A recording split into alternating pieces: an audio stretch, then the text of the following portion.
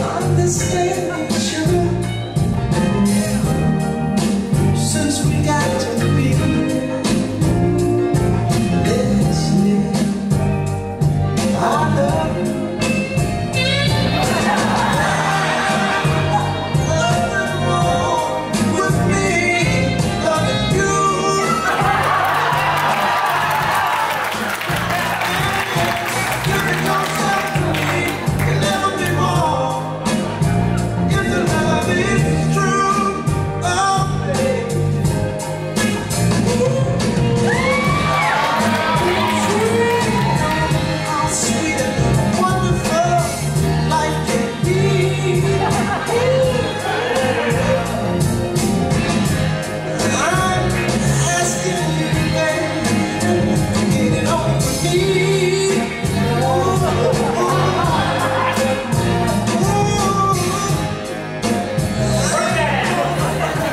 Yeah,